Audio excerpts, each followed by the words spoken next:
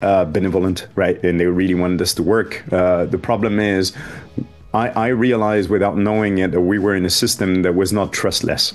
that you had operators you could trust, operators you could not trust. The result was that a lot of the investors that I brought on board and partners lost their shirt on it, right? And um, at the end of it, I was going to exit the industry uh, on that basis uh, because I just said, okay, I don't see where um, I'm going to fit into this. And this is actually where I met one of the early editors of Bitcoin Magazine at the time. So you, are thinking 2015, right? Uh, right after Mt. Gox, right after Silk Road being closed, uh, Bitcoin had just gone down to what was that uh, between 300 or 200 and 500 bucks right and and this is this is pretty much when I entered it. it. it. was not for speculation around Bitcoin. It was not because I thought it was a great asset class, like Michael